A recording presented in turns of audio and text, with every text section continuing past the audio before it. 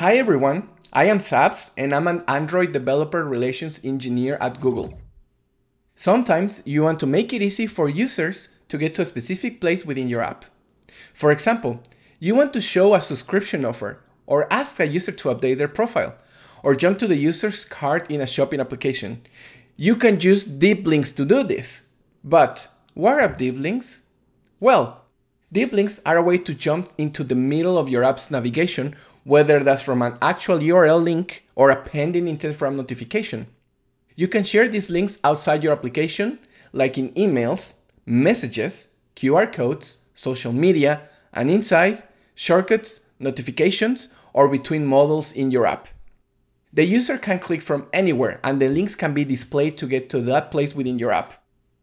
In this video, we will take a closer look at different types of deep links. We will go over how to set them up, test them, and share deep link navigation best practices. For a short intro about deep links, check out part 1, What can you do with deep links?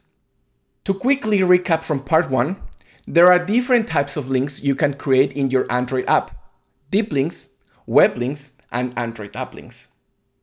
Deep links are URIs with any scheme that takes users directly to a specific place within your app. Web links are deep links that use the HTTP and HTTPS schemes. Android app links are web links that are verified to belong to your app only. When a user clicks a link, a programmatic request invokes a URI intent, and the Android system tries to find a handler application that can resolve that link. To make sure that your app can be handler, you need to do the three following steps.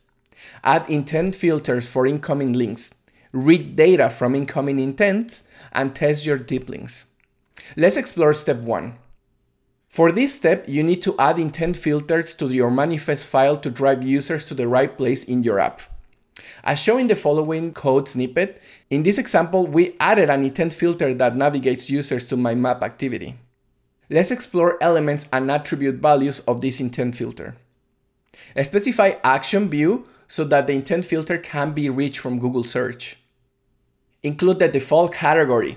This allows your app to respond to implicit intent. Without this, the activity can be started only if the intent specifies your app component name.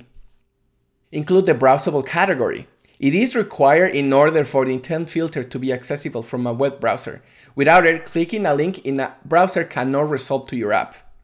Add the data tag that represents the URI format that results to the activity. Once the Android system starts your activity through an intent filter, you can use data provided by the intent to determine any specifics about what needs to be shown. This snippet shows how to retrieve data from an intent using the data and action methods. To test that a deep link results to the correct app activity, you can use the Android debug bridge command. The general syntax for testing an intent filter URI with ADB is the following. Note that the package name can be skipped from implicit intents, but should be provided for explicit intents. Let's look at this example. The command below tries to view an app with the com.example.droidfood package, associated with the example droidfood URI. The manifest declaration and intent handler you set above define the connection between your app and a deep link. Now let's explore web links. Web links are deep links that use the HTTP and HTTPS schemes. They are implemented in the same way except with the scheme of HTTP or HTTPS in your intent filter. To validate yourself as the owner of a web link, you will set up an Android app link. Android app links are validated by the host domain of the link. In our example, we had an app that owns the droidfood.example.com domain and has a corresponding web page. When a user clicks on the validated Android app link, the app opens immediately if it's installed. If the app is not installed and the user didn't set another app to be the default handler, then the link will be open in a browser. If the Android app link doesn't pass the additional validation, it will be open in a browser. In Android version less than 12, the disambiguation dialog will appear. To set up Android app links, you need a few extra steps beyond what you do for web links. Add auto-verified attribute to intent filters and declare the association between your app and website. Let's explore step 4.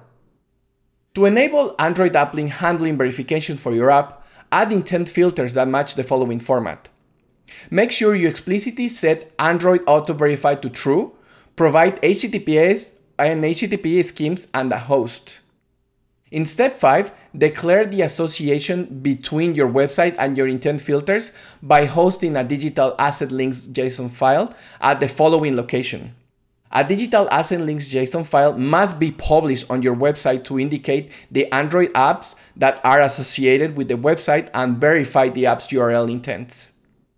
The following assetlinks.json file grants link opening rights to an Android app with the package droidfood.example.com. The certificate fingerprint must match the release signature used to sign your app.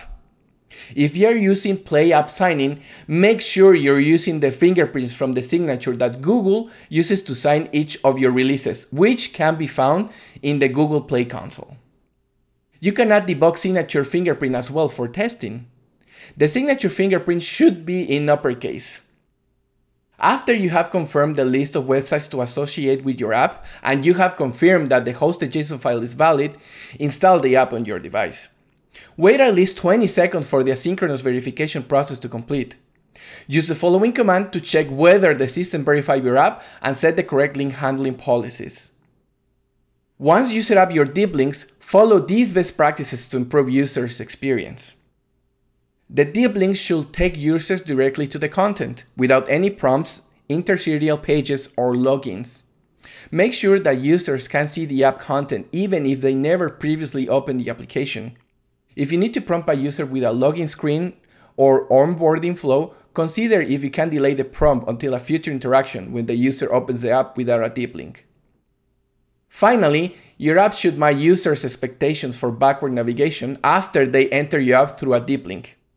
Please check out the design guidance described in the navigation with back and up link in the description below. In this video, you'll learn how to implement different types of deep links. For more details, check out the Understanding the Different Types of Links guide in the Android Developers documentation, link in the video description below. If something doesn't work, watch our Addressing Pain Points and Common Mistakes video.